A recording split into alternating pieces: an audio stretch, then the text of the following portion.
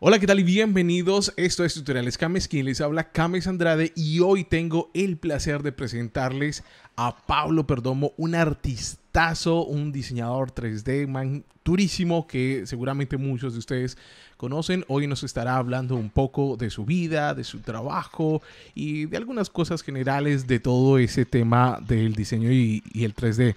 Pablo, bienvenido a Tutoriales Cames. ¿Cómo vas? ¿Cómo vas? Eh, todo bien, acá andamos chévere por allá eh, en Argentina o qué? ¿Encerrado?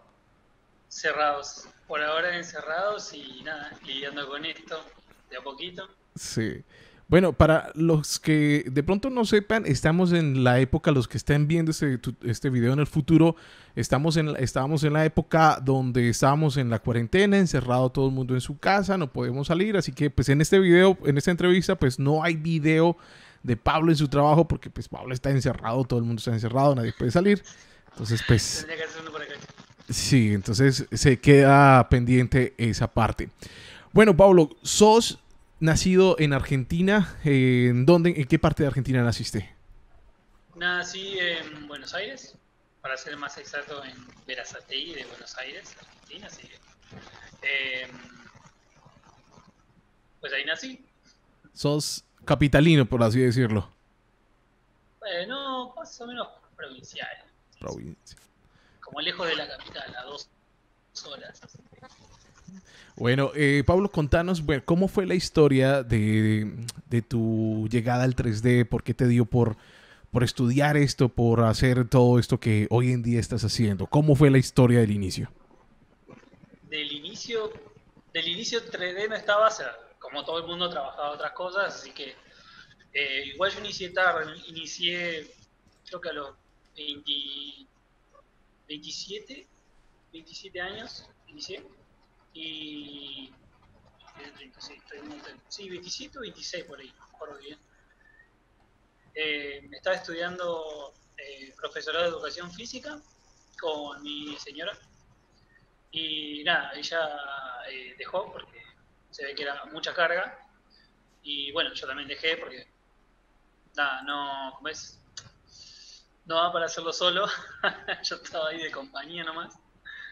Y nada, me quedé sin objetivo ni nada. Y en cuanto al arte, yo mucha importancia no le daba porque hasta donde yo sabía, eh, todo lo que era arte, pues no era muy rentable a la larga, ¿no? Entonces, era, no, antes de saber del tema digital. Cuando era chico hacía una que otra pinturita, pero nada importante. Entonces medio que suprimí eso y me concentré en estudiar, no sé, enfermería o, algo que me sirva. La anatomía también me gustaba, entonces buscaba por ese lado. Nunca nada sobre computadoras ni nada, porque bueno, no sabía el tema digital.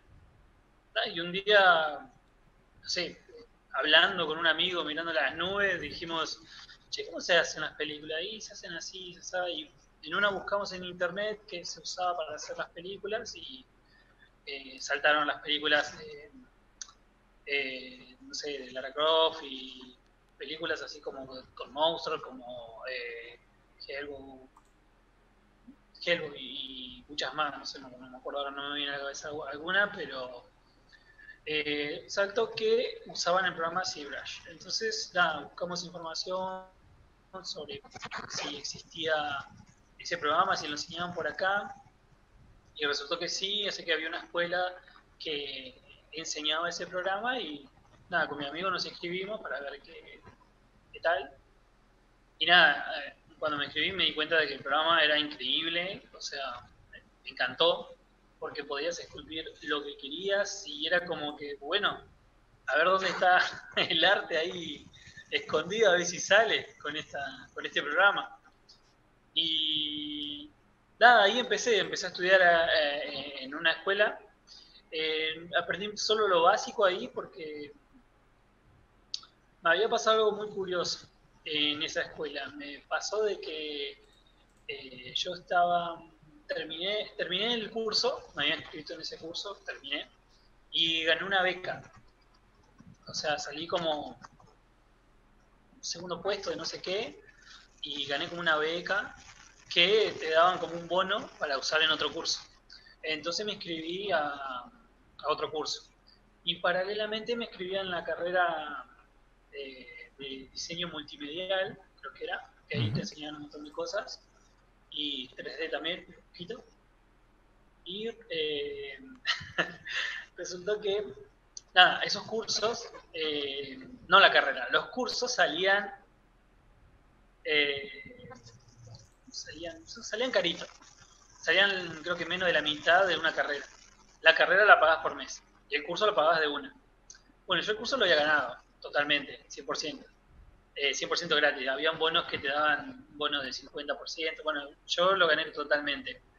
Y me pasó de que empecé la carrera y empecé el curso y nada, las dos cosas marchaban re bien. Terminé el primer trimestre de, la carrera y eh, de repente, bueno, eh, arranqué el segundo trimestre eh, y cuando estaban pasando lista, a mí no me nombraron. Entonces yo digo, qué raro que no me Yo creo que debía una cuota o dos. Siempre uno está debiendo ahí una que otra, una que otra, una que otra. Eh, y nada, fui a, preguntar qué pasó que no estoy en la lista y me dice, no, porque justamente debes tanto que eh, te, tuvimos que sacar el sistema. Y le digo, ah, bueno, eh, pago y, y, métame de vuelta al sistema. Bueno, dice, pago no, digo, eh, pregunto cuánto es y nada, era una fortuna que me cobran. Yo, ¿por qué? Me estaban cobrando el curso que había ganado gratis. O sea, tenía un papel así gigante, como en una foto, que decía que gané el curso. Era un error de sistema. Eh, el curso pasó como si yo lo tenía que haber pagado. Entonces, eh, eso, me, eso automáticamente me, puso como deudor en el sistema y me sacó por un error administrativo de ellos.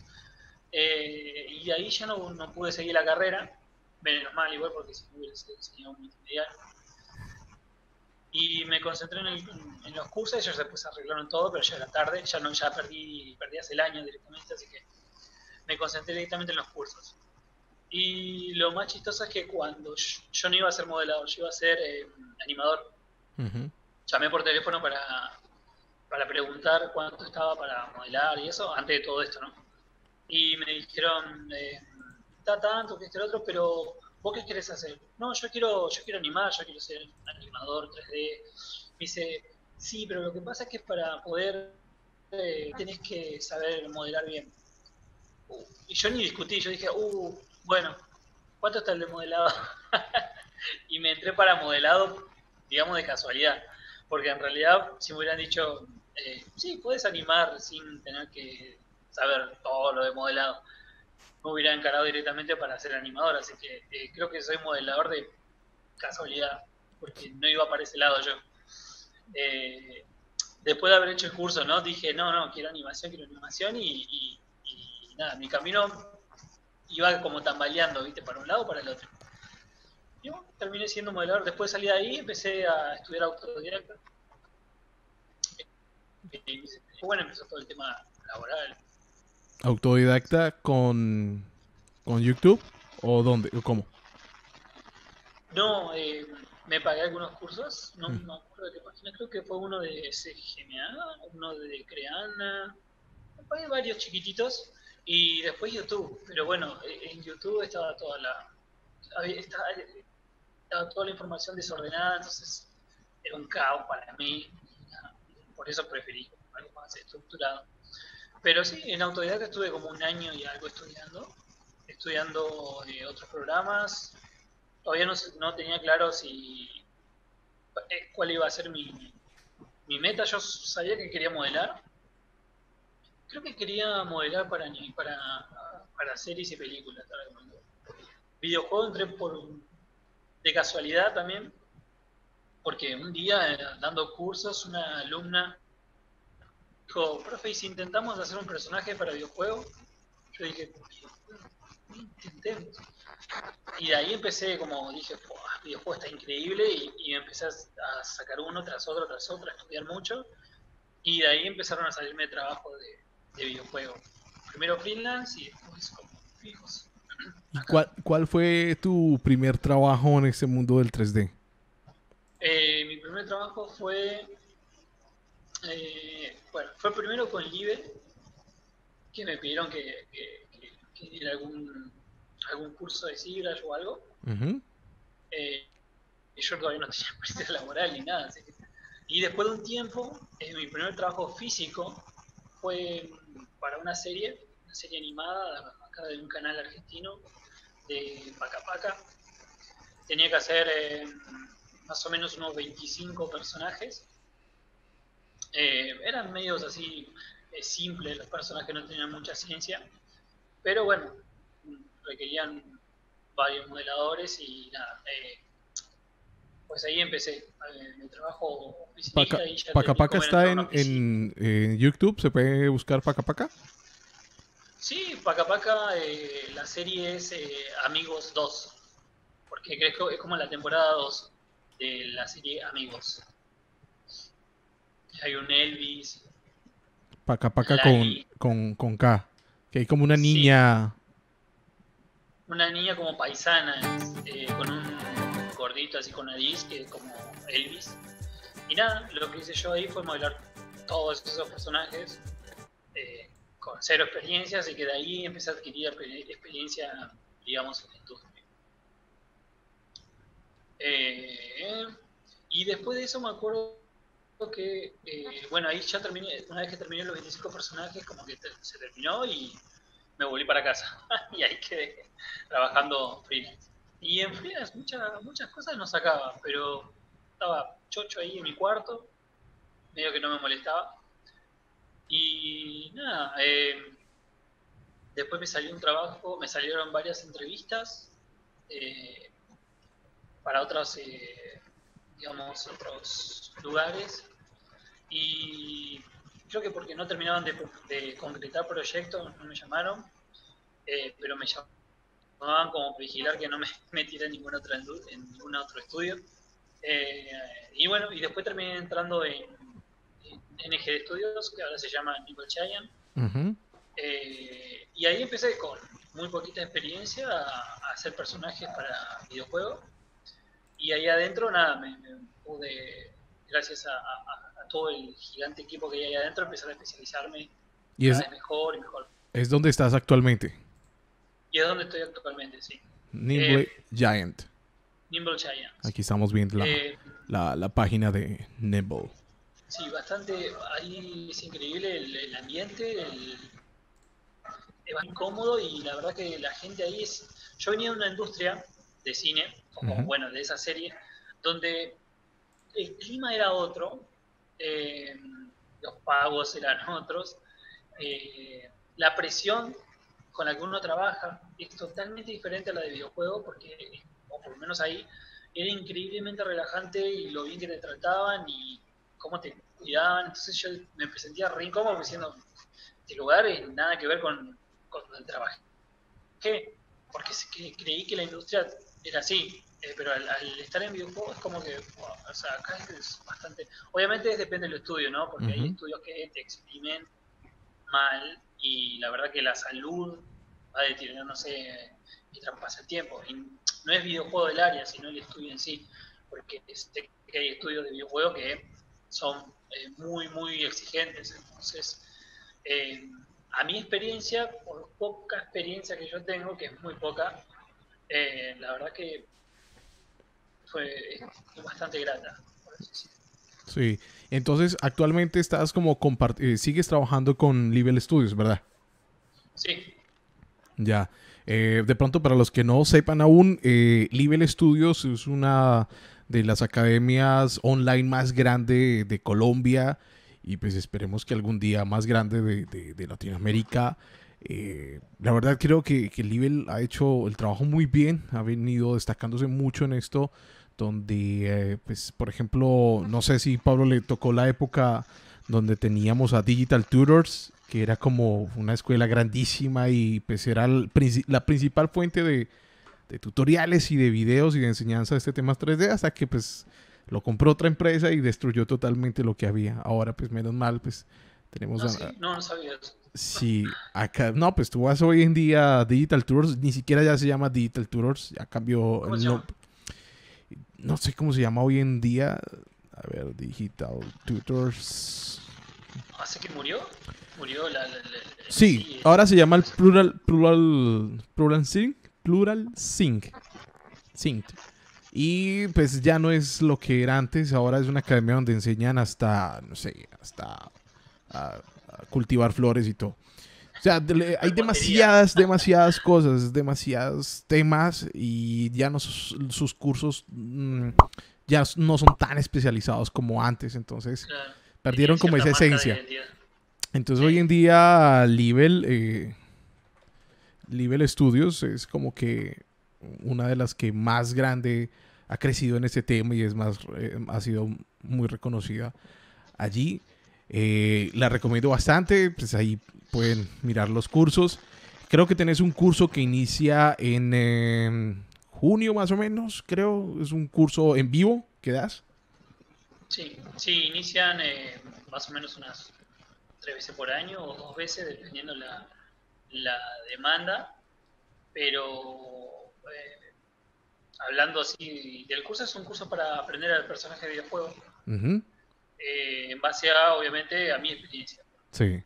Que no tengo la verdad absoluta, así que eh, yo puedo enseñar desde mi lado, desde el lado de, lo que experimenté, digamos, eh, en este ámbito, de todo lo que aprendí, y nada, es mirar para atrás y, ayudar a, esas personas que están bastante perdidas en el tema, ¿no? Y que tienen tanta información que la verdad no saben qué mirar, así que y es muy, básicamente el curso se enfoca en eso. Es muy orientado a lo realista, a los personajes más eh, realistas o estilizados, ¿cómo es? Sí, y sí, es más eh, tirando a lo realista. A pesar de que lo técnico puede que en una, en, digamos, en un nivel más básico sirva, eh, hay una categoría que de, los cursos de videojuegos que es muy alta, es demasiado técnica y es más que nada para los personajes de alta complejidad como los realistas. digamos que hay algunos cursos que están buenísimos, que son más estilizados, más fácil de aprender, que bueno, no, no están, no soy el encargado de esos, pero eh, eh, también bastante buenos. Sí, sí.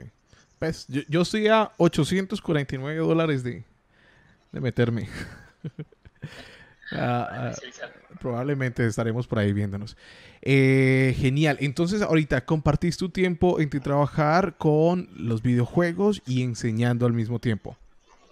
Sí, sí, equilibrar todo eso es, complicado. Por eso la no hay muchos que, lo quieran intentar, porque los que lo intentan no lo, soportan mucho tiempo, pero eh, pude conseguir un, buen equilibrio cambiando, digamos, metodologías y, logrando trabajar eh, nueve horas diarias, eh, digamos, en, este, en, ese lugar y, nada, posterior también enseñar básicamente mi rubro.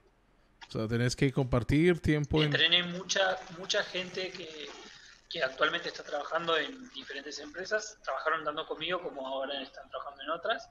Pero básicamente la fuente de stock de modeladores aptos para videojuego eh, sale de Level.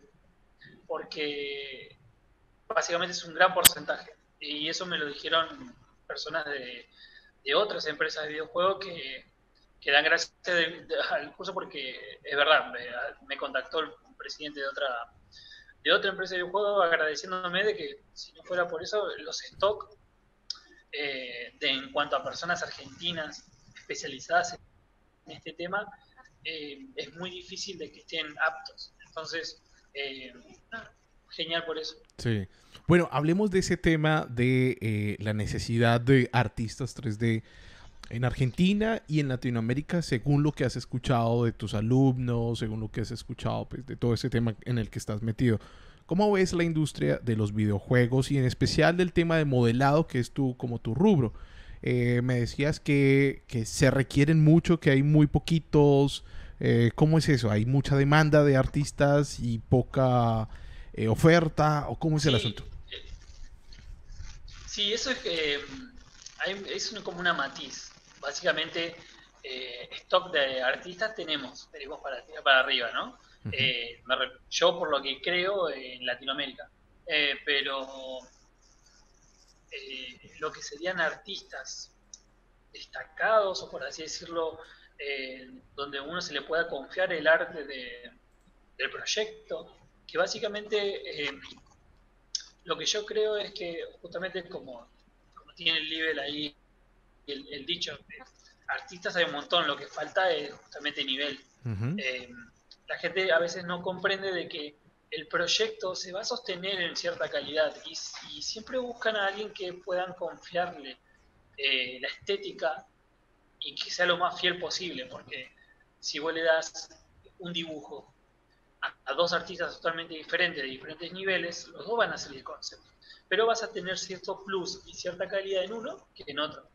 Entonces, para mí justamente eso, eh, trabajo ahí, justamente lo que falta es nivel. Eh, si uno se destaca en los niveles, básicamente los que tienen nivel alto son los que menos eh, eh, tienden a no tener trabajo. Entonces, básicamente para mí la idea es que simplemente la gente mejore y va a empezar a ver otro nivel de, digamos, de demanda laboral. Entonces... Y en cuanto acá en Argentina, es exactamente igual que, en otro lado. O sea, hay un montón de modeladores, pocos que, especialistas, y de los pocos especialistas, pocos especialistas que modelen bien.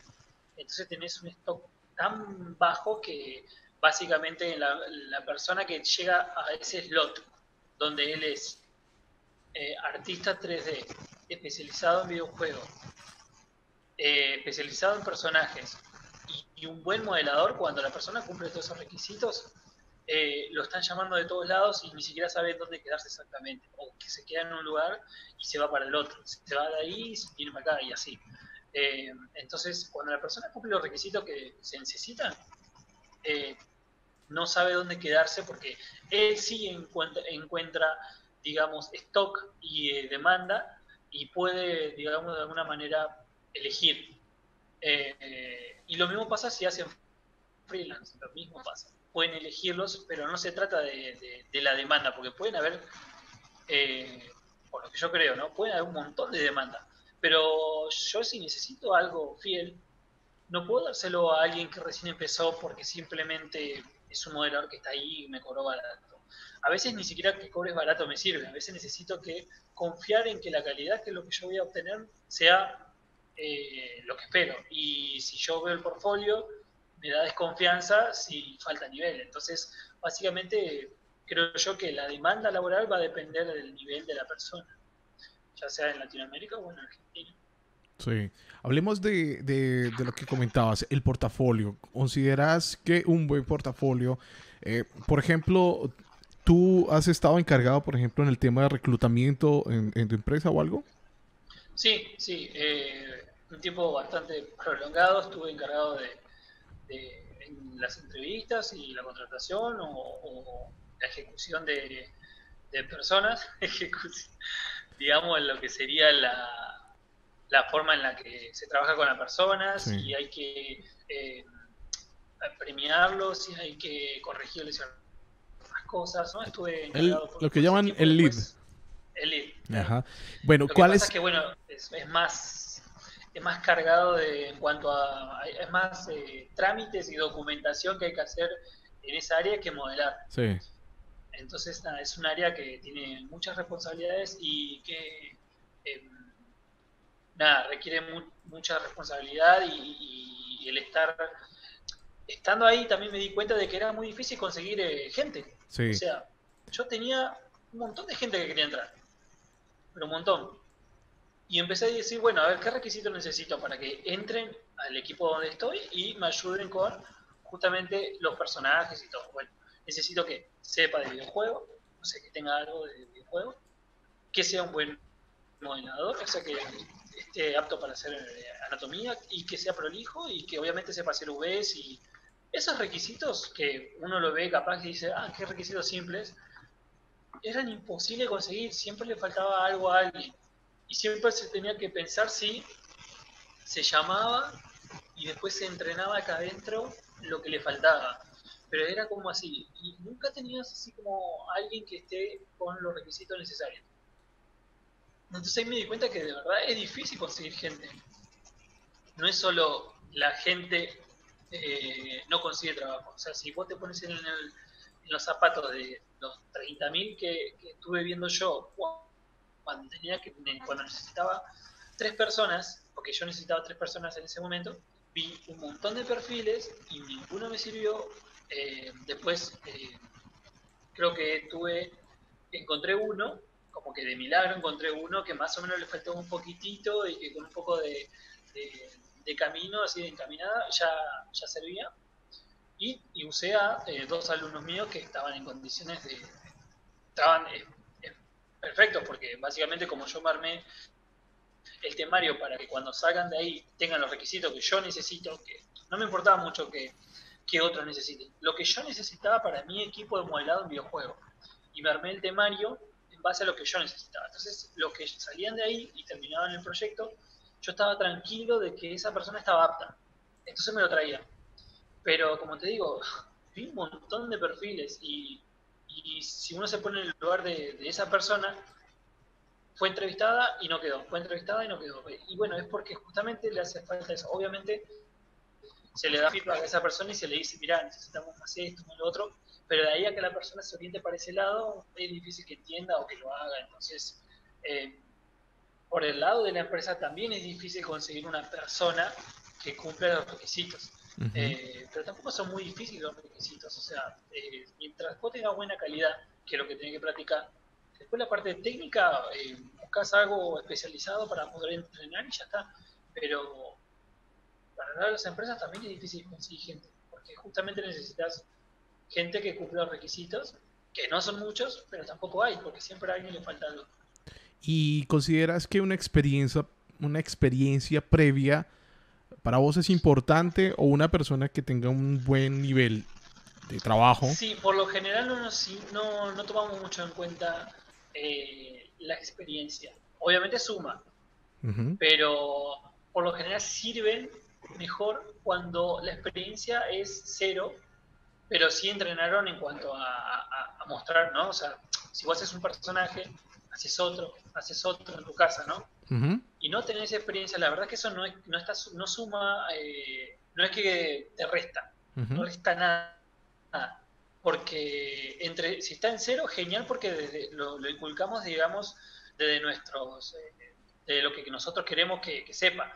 Entonces aprende desde ahí, desde nuestro lugar de donde estamos. Y eso está genial y sirve muchísimo. Y a veces nos gusta más que, que estén de cero, pero que tengan, pero hayan entrenado y hayan estudiado muchísimo, eh, como por ejemplo becantes. Eh, Nivel Giant suele eh, hacer muchos intercambios de becantes en cuanto a los estudiantes. ¿Para qué? Para que los becantes eh, se entrenen un poco, unos meses, prueben un poquito lo que es el trabajo.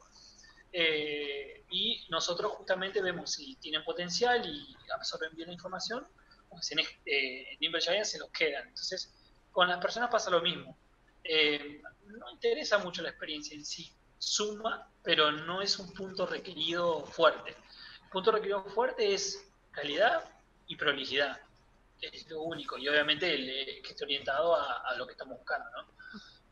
Sí. Eh, porque es, que es lo que más es lo que más se busca. En ese caso, eh, yo he tenido preguntas de, jóvenes, de pelados, acá les llamamos pelados, chicos, eh, que están recién estudiando en el colegio, tienen un muy buen talento, o sea, se nota que, que tienen muy buen ojo para el arte, pero dicen, no, yo no tengo experiencia, a mí quién me va a contratar en una empresa si nunca, he trabajado antes.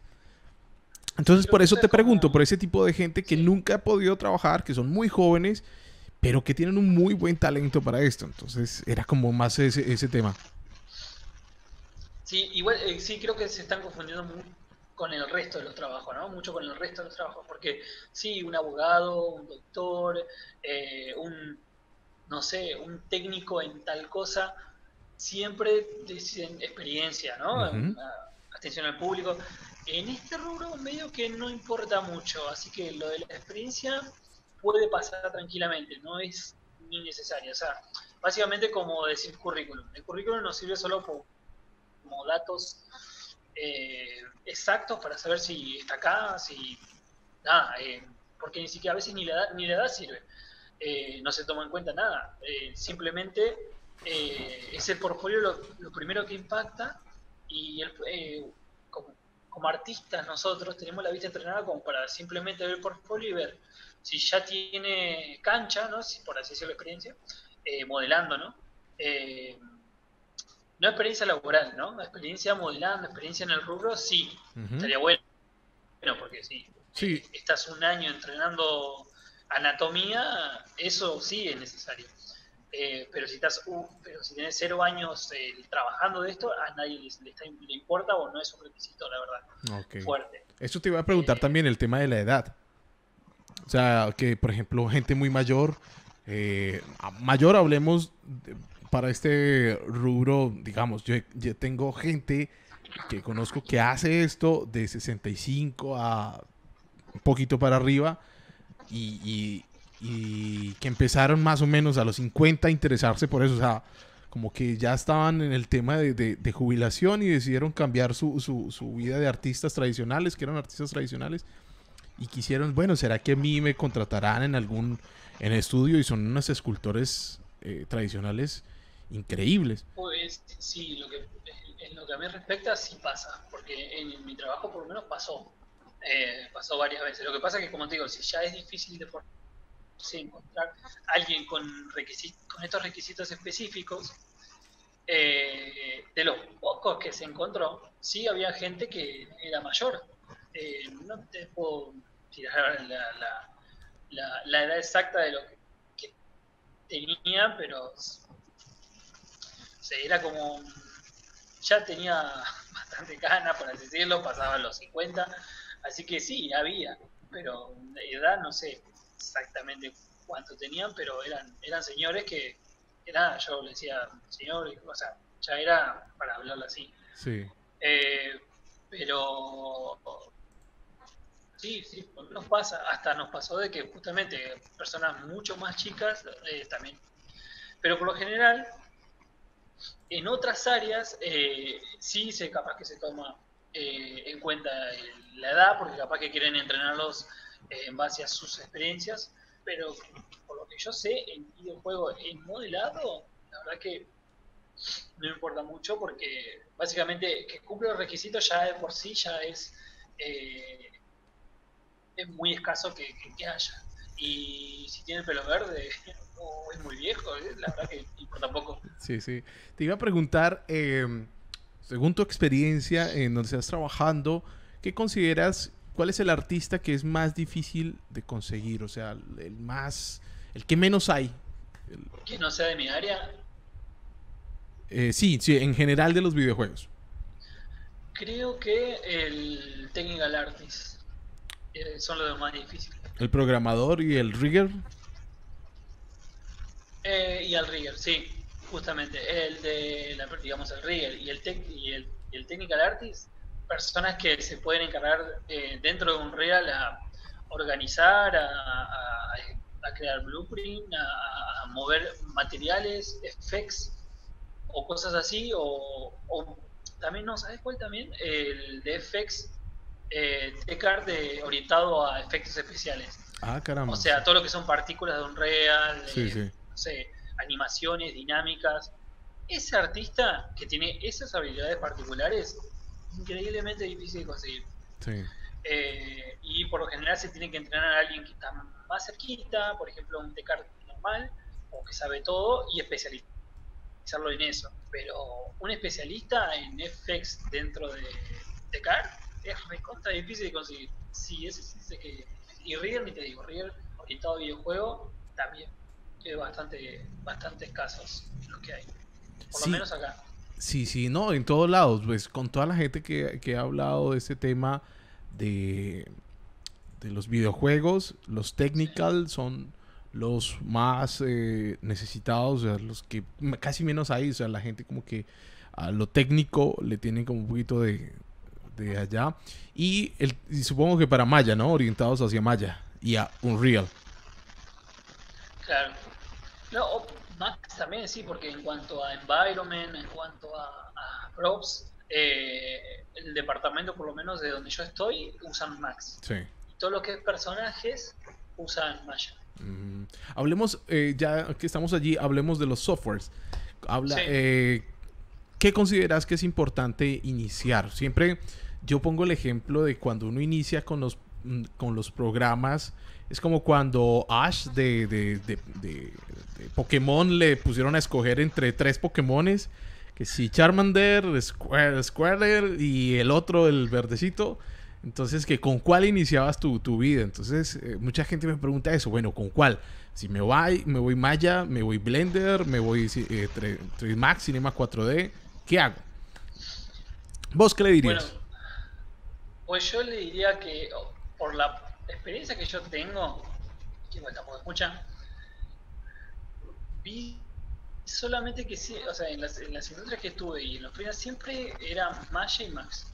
Eh, por más atractivo que sean el resto de los programas, la incompatibilidad con muchas eh, interacciones con otros hacen que uno esté eh, o que las empresas quieren estar más fiables, más estables en programas licenciados y programas derechitos que vos sabés que andan y, la industria ya usó eso y se quedó con eso. Entonces, por lo general, por lo que yo veo, siempre es Max o Maya. Eh, no, no vi, o por lo menos no tengo, el único lugar donde yo vi el resto de los programas, que es 4D, Blender, eh, ¿cuál, más hay? Eh, no me acuerdo, no me viene a la cabeza, Rinceros, bueno, sé si Está modo y el que utilizan para efectos es Houdini. Houdini. Bueno, esos no lo vi más que en tutoriales y, en internet en sí, como si fuera una diva de internet.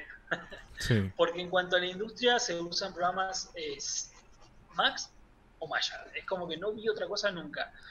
Si hay, desconozco, pero por lo que yo vi, todos estos años que estuve trabajando, jamás vi eh, eh, eso. Creo que una vez vi que alguien usó eh, Cinema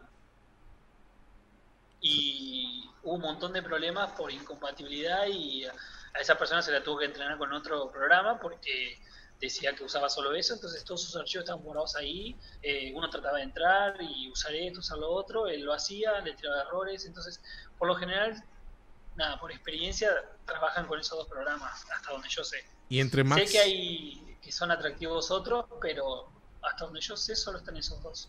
Y entre Max y Maya, ¿cuál de los dos están más equivalencia según lo que has visto? Eh, yo estuve creo que tres años con Max, usando Max, super chocho.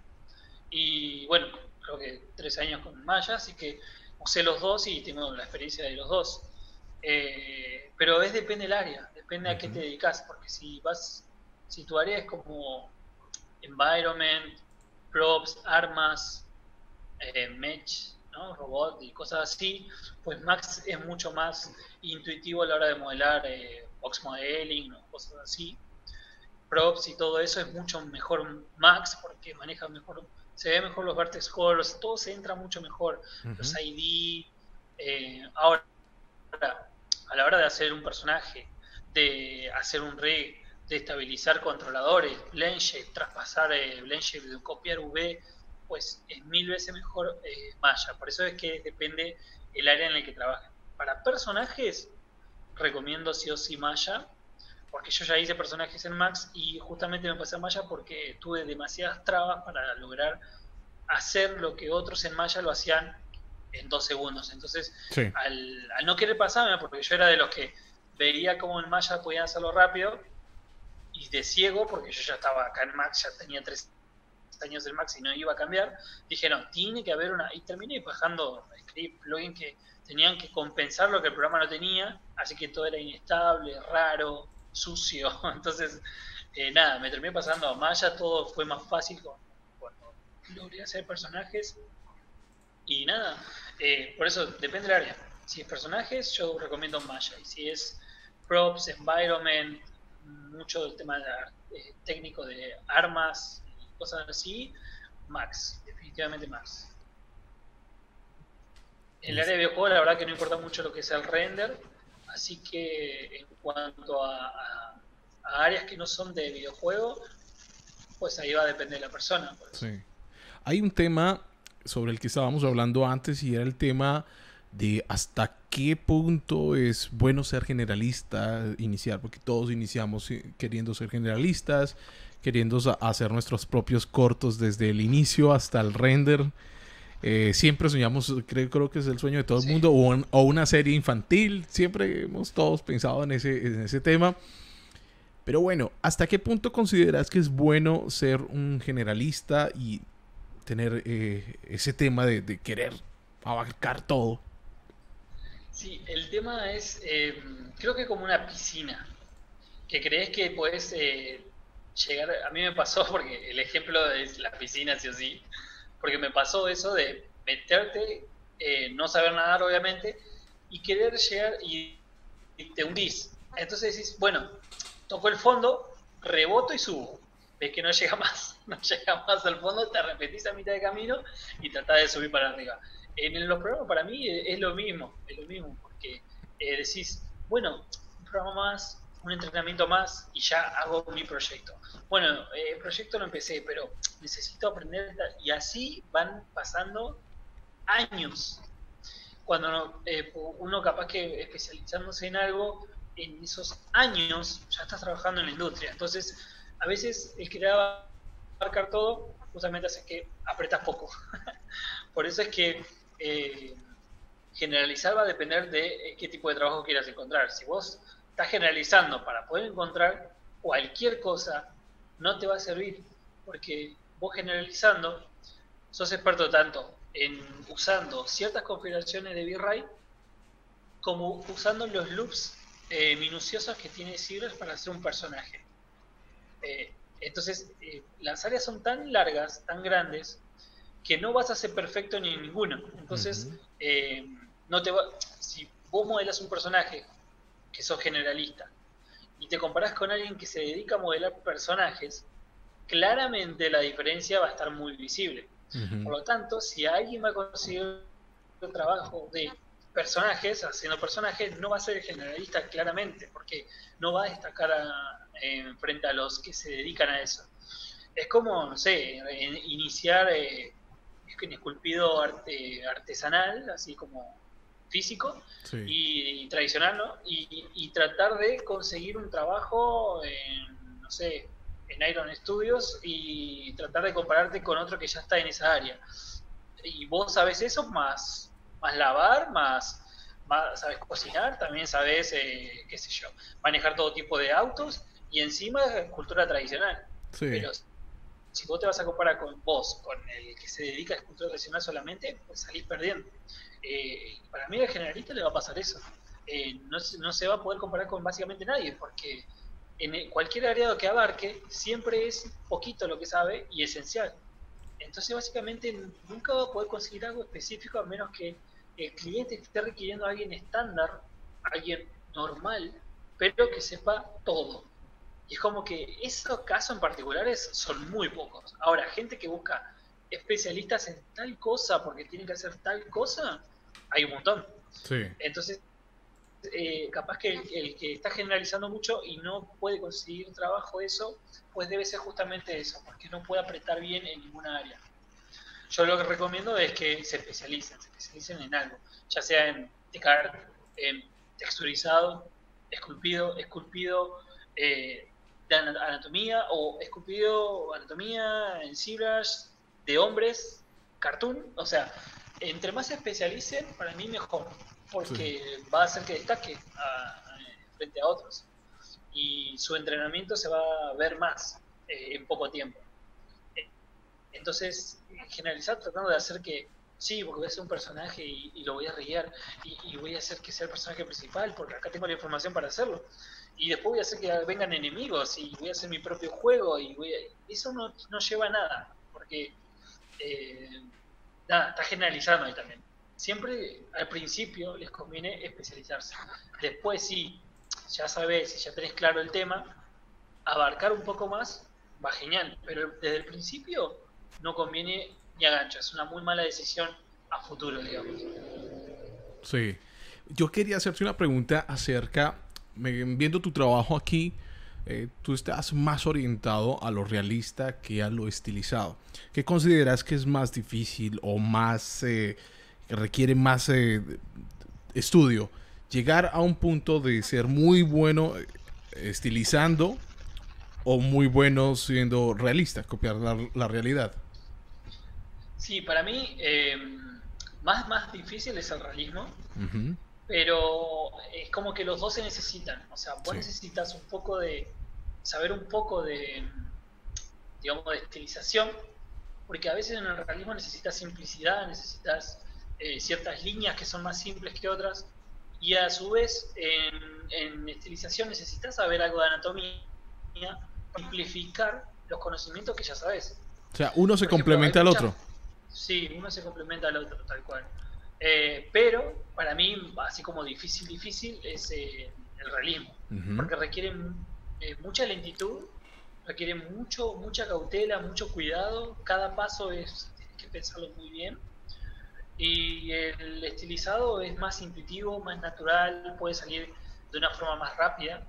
Y en cuanto a mis preferencias, yo estoy orientado así más a, lo que es eh, realista, pero porque básicamente el, lo que es estilizado a mí medio no me atrae mucho. Eh, ya intenté hacerlo, lo hice y dije, ah, no es como, o sea, no, no, le encontré mucha gracia y dije, no, creo que lo que lo que le da marca la diferencia o lo que capaz que es muy difícil de alcanzar que lo considero más difícil es el realismo, entonces me tiro más para ese lado. Sí, lo que eh, Lo que he visto del realismo es que, por ejemplo, pues nosotros los seres humanos, yo en este momento estoy estudiando animación y pues, tú cuando ves un ser humano moviéndose o se trata de hacer una motion capture, tú a veces como que el ojo ya estás tan acostumbrado a ver lo natural y lo real que cuando le ves algo raro lo notas de una y así mismo con los modelos 3D. En las películas uno no se queja en Pixar porque tiene los ojos grandísimos y, no, y no, lo ve genial, le gusta, es empático, pero cuando tú en una película realista ves un modelo tratando de parecerse al, actor en la vida real y uno ve esas escenas y uno dice, pero eso, ese muñeco parece de plástico, eso no es el actor, eso es un muñeco de, creer. Sí, y hay algo, y el ojo humano es tan bueno en eso, en detectar esas cosas tan mínimas, que uno dice, pucha, ese es sexy. O sea, tanto animarlos o, hacer el motion capture, porque el motion capture, por más que el actor haga, hay que hacerle correctivos a eso. Pero también al modelo, la iluminación y la textura, todo es explícitamente difícil llegar a eso, ¿no? Es igual que en Esculpido pasa lo mismo, con, eh, por ejemplo, con, con los lines, ¿sí? hacer parecido a alguien ahí el ojo también reacciona súper rápido y, solo decís, ah, se parece, pero siempre notas eso raro. No hay forma de que esté perfecto porque siempre. Entonces, es un nivel muy alto esculpir, eh, eh, digamos, eh, parecidos, porque la gente tiene de dónde agarrarse para buscar si eso está bien o mal. Pero a veces ni siquiera necesitan eso, solo lo ven y dicen, no. O sea, es muy rápido. o sea, vos lo ves y es, no, sé que no va, pero no. Entonces, lograr eh, un lines es un nivel muy alto de, modelado y a veces veo muchos artistas que tratan de hacer lines en un nivel que no están eh, adaptados o, digamos, eh, no están ahí, no están en un nivel que puedan hacer lines. Entonces, lines pueden hacer todo el mundo, pero la gente que no lo logra no se tiene que frustrar mucho por el hecho de que no lo logró y otros sí, sino que se tiene que dar cuenta de que todavía, si sacás los lines, o sea, el modelo normal, si podés hacer un modelo normal, eh, sin referencias, sin nada, o sea, puedes hacer algo normal y natural, ahí puedes empezar a meterte en lines de a poquito. Yo me estoy metiendo así, muy de a poquito, no me estoy confiando. Cuando me sale mal, listo, ya está, reconozco, no, no, no, no hago más nada pero es un nivel más alto. Y empezar desde ahí no hace que vos mejores, al contrario, hace que primero te salte todo lo que estás a ver. Yo, también me acuerdo que estudiaba así, yo creía que me, si me ponía algo muy difícil de hacer y lo hacía como saliera, iba a ser mejor que entrenar de a poquito, pero la verdad que no, resultó que no. Resultó ser que uno necesita toda la base bien, bien hecha, bien, bien entendida, como para intentar eh, es como las criaturas también, viste que hay gente que quiere hacer criaturas y vos la ves y decís, no, esa criatura no me convence, pero alguien que estudia anatomía hace una criatura y decís, eso puede existir seguro. eh, pasa lo mismo, necesitas una base muy amplia para tratar de hacer algo que está fuera del nivel de lo ordinario. Sí. Te iba a preguntar. esas cosas siempre necesitan bases. Te iba a preguntar acerca, bueno, listo, del likeness, ya en el tema profesional, ya en el tema de usabilidad. Con un amigo estábamos hablando el otro día de, pues, este tema, porque, de, de likeness. Él, trabaja en, en, películas y todo eso. Y me dice, pues, acá un, un artista nunca le van a dar un mes o todo el tiempo para que haga una sola cara, no. Contratan un servicio que le toma las fotos al actor y simplemente hacen correctivos y ya, en un solo día sale eso. Entonces nunca habría un artista haciendo lines, un artista que hace correctivos. En el tema profesional, eh, ¿en qué me beneficiaría yo eh, trabajar esto, hacerle, o es más algo de mejoramiento artístico? ¿Cómo es el, tema ahí? Eh, ¿A qué te refieres? ¿A los lines? Sí, el lines. Los lines más que nada creo que están orientados no a la parte laboral en sí, a ver si me llaman para hacer lines, sino que están más orientados a el lado en que puedes, eh, en lo que puedes utilizar ese, ese archivo. O sea, los lines creo que están más destinados a ser impresos a estatuas sobre esa persona, no sé, DiCaprio por ejemplo, eh, a tener algo de DiCaprio que a tener a un DiCaprio en digital y poder animarlo. Eso es muy raro que te lo pidan, pero creo que los lines están más destinados a, a tener la figura de la persona, que es mucho más útil que, que, obviamente tener a un DiCaprio digital tratando de moverse, porque eso es, es casi imposible por el hecho de que eh, vos vas a, a ser un actor y si lo querés hacer moviéndose, ya está, ya no se parece, porque cualquier movimiento que haga con la, cara en digital es básicamente imposible de poder copiar exactamente los mismos gestos. Entonces, en Lines creo que cuando uno practica, le sirve para orientarlo más que nada a imprimirlo y, tenerlo justamente en figuras y cosas así. Eh, o hacer simplemente por retratos eh, tipo fanart.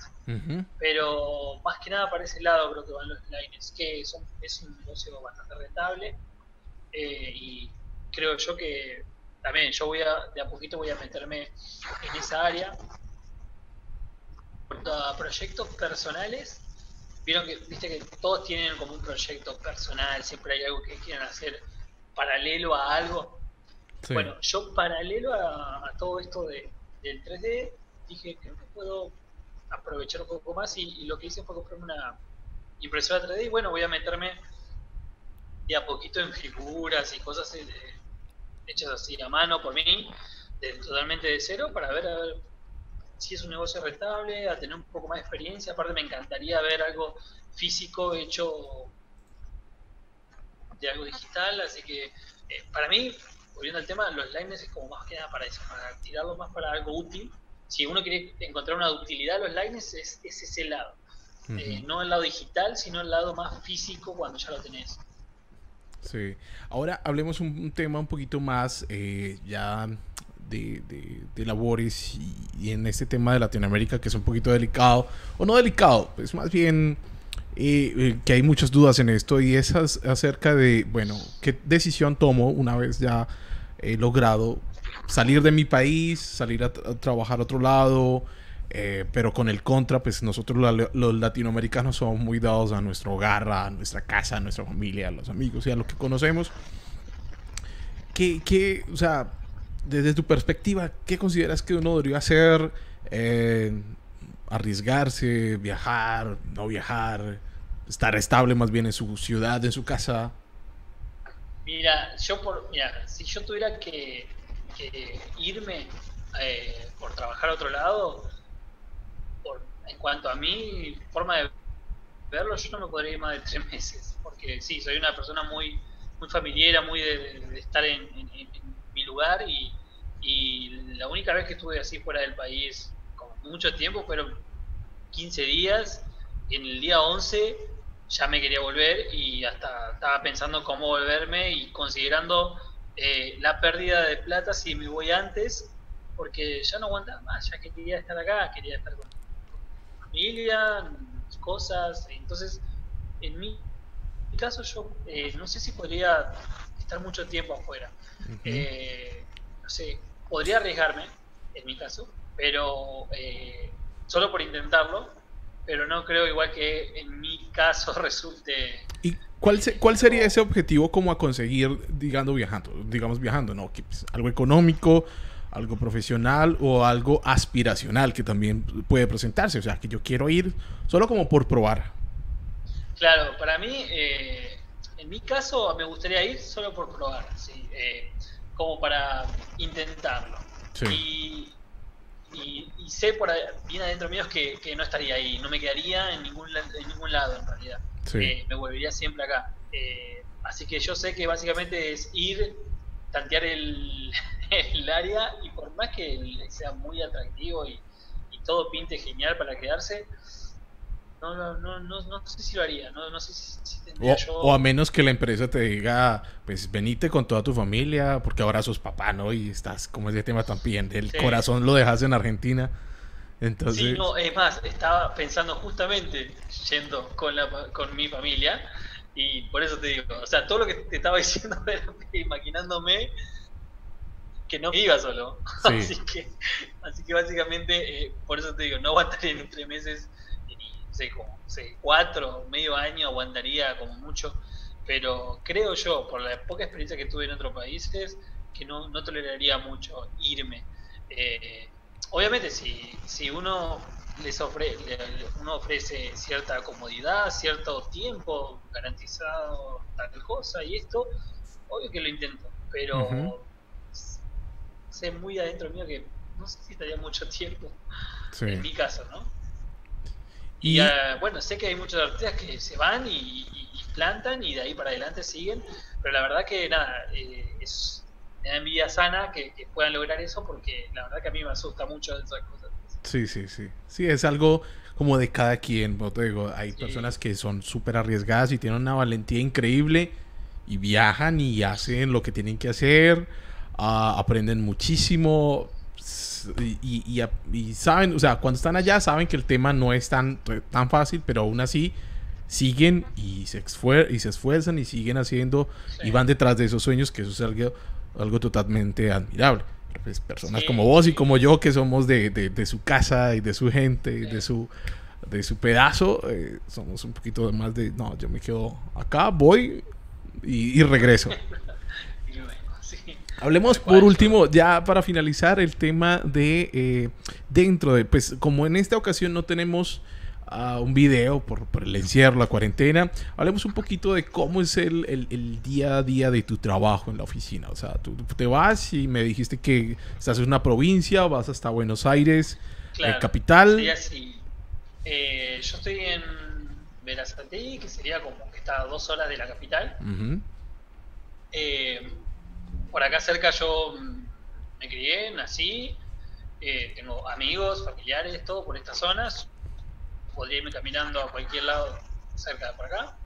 Eh, y nada, de chico siempre trabajaba en Capital, trabajo en Capital. Y bueno, justamente trabajo también en Capital, entonces el viaje hasta allá, ya estoy acostumbrado desde muy chiquito, desde que empecé por primera vez a trabajar, creo que trabajaba con mi viejo, ayudándolo en el restaurante eh, y de ese momento yo ya empecé a viajar para allá. Primero me acuerdo que empecé a viajar con él, viajábamos en, el semi rápido, eh, yo re asustado con los viajes, con esto, y, nada, y como que me apadrinó, por así decirlo, en, el trabajo, en el ida y vuelta, en el viaje. Eh, creo que llegó un momento que yo ya estaba trabajando, así como en blanco y mi viejo seguía pagándome el viaje, o sea, yo estaba acostumbrado, estaba remimado en cuanto al, viaje. Pero bueno, eh, nada, gracias a, mi viejo, a que, a que, a que me dio como el laburo, yo me pagué, me, pagué digamos, los estudios, eh, me dio tiempo para comprarme una computadora y empezar a trabajar de esto, así que eh, el viaje, estoy súper acostumbrado y hasta allá. Eh, me encanta ir en colectivo por el hecho de que uno puede relajarse, pensar. Meditar. Pero yo no lo apreciaba, si yo no lo apreciaba eso cuando viajaba en colectivo, obligatoriamente.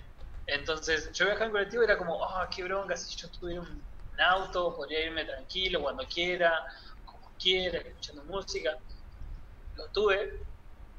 Chocho me iba al trabajo en auto, la verdad que sí, la pasás bien, pero después te empezás a dar cuenta de que, de que ya no puedes dormir, ya no puedes relajar, siempre tienes que estar atento. Sí. Entonces hay muchas cosas que te perdés en el viaje, te aburrís mucho en auto. Entonces siempre voy como ir y vuelta en auto o en colectivo, dependiendo dependiendo cuánto me haya sobrado en el mes y dependiendo obviamente si, si, si está lloviendo o no, pero por lo general está bueno ir en colectivo porque uno duerme. Como yo, yo de acá salgo, a, algunos días salgo 5 de la mañana, eh, pero no porque mi trabajo me, me digan que llegas ahora, yo llego más temprano, llego, allá hay que entrar a las 9 de la mañana, yo llego alrededor de las 6 y ¿Ahí se congeló la pantalla? Sí, se congeló tu pantalla, pero tranquilo ahí. Eh, bueno, yo, mm, digamos, eh, salgo de acá a las 5 de la mañana, llego allá bastante más temprano, yo allá tengo que llegar como a las 9 y llego alrededor de las 6 por ahí. Eh, y esas, esas horas las dedico, bastante de empezar, las dedico a, a Libel, o sea, trato de, de, de hacer cursos de, o de entrenarme o de practicar o lo que sea para después empezar la jornada, eso de las 10, eh, normal de trabajo, y ahí ya 9, 10, 11, 12, hasta las 6 de la tarde, 7, eh, termina mi jornada y si estoy bastante bien de energía, me quedo dos horas más y otra vez vuelvo a hacer lo mismo y así me voy repartiendo el tiempo. Eso igual no lo puedo, por la edad que tengo ya, no lo puedo tolerar mucho tiempo, creo que lo puedo hacer dos veces por semana eh, porque después necesito recuperarme de esa madrugada y, llegar tan tarde, necesito recuperarme, entonces al otro día llego a las 10 y, me voy a las 6 y, trato de recuperarme, pero a veces tiro esas naftas así como para poder eh, acelerar, pero mi idea es así, ¿no? Es a, veces entro a las 10 y a veces salgo a las 6, a veces salgo, a veces entro a las 10, pero me quedo me quedo hasta las 10 de la noche en el trabajo, haciendo otras cosas, obviamente. Eh, y vuelvo tarde, pero y así estoy, ¿no? Pero es muy inestable mi horario, digamos, dentro del margen normal del horario laboral. Yo lo muevo o me quedo más o me quedo o llego más temprano o me quedo más tiempo para hacer otras cosas. Entonces, los horarios los manejo así. Los días que yo me quedo tarde, nada, mi señora eh, cocina, y los días que yo llego normal, pues nada, pensamos entre los dos, vemos qué hacemos y la mayoría de las veces cocino yo. Eh, pero bueno, ahora tenemos una nena, entonces ya es más complejo. Sí. ya no es lo mismo, ya no puedo hacer lo mismo. Lo único que puedo hacer así como, como parecido es irme bien temprano, eh, pero ya no me puedo volver tarde porque, bueno, mi señora está con la beba, así que necesita bañarse, necesita limpiar y a veces con la beba, si llora mucho, no se puede estar todo el tiempo haciendo otras cosas y es bastante difícil. Bueno, igual es mi primera experiencia con esto, entonces eh, por ese lado tengo que tener mucho cuidado, ¿no? Cuando llego hay que bañarla eh, y, nada, después uno bañarse, después cocinar, obviamente ya no puede salir a comprar, entonces eh, yo llego y tengo que hacer como de todo y ya está, me comió, quedé destrozado, así que, y lo peor es que, bueno, este, esta etapa me hace trasnochar mucho también. Eh. Estoy levantándome a las una, a la, una, a las dos, a las cuatro, a las cinco. Eh, y, eso que en los que trabajamos en esto somos expertos en, en, trasnocho, ¿no? Sí, eh, eso hace que igual que yo lo pueda tolerar un poco mejor porque estoy, estamos levantándonos así, o sea, paulatinamente, y ella en la siesta se, básicamente se desmaya con la beba, ¿viste?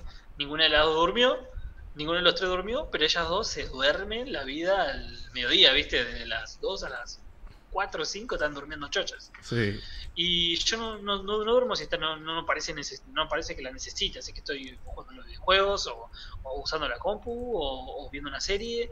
Jamás duermo siesta. A veces cuando estoy muy destrozado, capaz que sí pero por suerte tengo energía de sobra yo en, el día a día y eso me hace tolerar un poquito mejor todo esto, ¿no? de, los desfases horarios y, todo esto de, tener dos trabajos y una beba recién nacida. Es que, es, duro y admirable ese tema.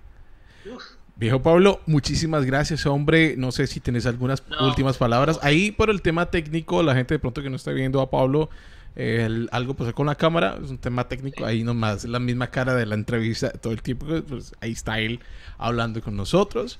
Eh, ¿Tenés algo que decir para, no sé, para motivar a la gente a que siga estudiando? ¿Qué, qué, le dirías a estos eh, pelados? Yo diría que eh, siempre quise decir así como unas palabras para todos, porque la verdad que es bastante difícil. Y les recomendaría que, que, traten de, de, estudiar ¿sí? de una manera más organizativa, ¿sí? de poder fijarse metas, metas cortitas y no tratar de abarcar todo, porque justamente eso hace que parezca que ustedes están estancados y, sientan que los demás avanzan y ustedes no. Eso suele pasar por el hecho de querer abarcar demasiadas cosas al nivel de otra persona que capaz que ya tuvo la experiencia de lo que ustedes capaz que todavía no retocaron, no estuvieron o no se dedicaron demasiado tiempo. Entonces yo diría que vayan de a poquitito, especialícense en el área, traten de destacarse en una sola área, no traten de abarcar todo y nada, ese sería como mi mayor consejo, ¿no? Y, ah, tratar de buscarse el tiempo, porque si yo, eh, la verdad que me dijeron a mí, me dijeron, mira Pablo, con la beba no vas a tener tiempo a nada, no vas a poder hacer nada, y la verdad, la verdad que yo obviamente me asusté un montón y no me pasó eso. Creo que es básicamente por el, sobrante energía que tengo, pero, pero yo puedo hacer eh, la jornada laboral, llego a casa, hago todas las actividades de digamos, paternales, eh, y puedo mirar series y puedo modelar, eh, básicamente el tipo me lo hago. Obviamente sí, pierdo mucho tiempo de sueño, pero el tiempo uno se lo hace, básicamente. Si quiere hacer todo, se lo hace. Entonces, eh, para mí no hay excusas para el estudio, para mirar series o para estar con la familia, no hay excusas. Simplemente quítense el tiempo de dormir. Ahí está el tiempo. Sacrifiquen o vida social o dormir o juego. Ahí hay algo que sacrificar siempre. Siempre hay que sacrificar algo, tal cual. Sí, sí, sí. y también organizarse, ¿no? O sea, también como que apuntar, porque uno a veces peca de, bueno, ¿qué tengo que hacer? Y no da prioridad a cosas y no apunta a las cosas que hay que hacer. Tal cual, tal cual. De ese tema. Hombre, Pablo, muchísimas gracias por acompañarnos este rato, por brindarle eh, eh, este tu charla a la gente que estoy muy seguro que para más de uno, y me incluyo, es totalmente revitalizante y que aprendemos un montón de vos, tu actitud y por supuesto recomendar a la gente que si quieren aprender con vos, pues estás, eh, vos das clases en Level, tenés varios cursos, tenés muchas cosas allí, que esté también que te puedan seguir en tus redes, por ahí estuve mostrando un poquito de tu Instagram. Sí, tengo Instagram, Twitch, por si alguno quiere meterse. De a poquito estoy metiéndome en el Twitch, así que muy de a poquito. Y sí, es nivel estudio principalmente. Excelente. Hombre, muchísimas gracias. Nos vemos, gente. Nos vemos, Pablo, en un próximo video, en una próxima entrevista. Ojalá que ya se haya cuadrado la cámara. Ok, gente, eh, muchas gracias por ver esa entrevista. Gracias por estar aquí. Recuerde darle like a este video si les ha gustado. Y nos vemos en un próximo video del canal. Chao, chao.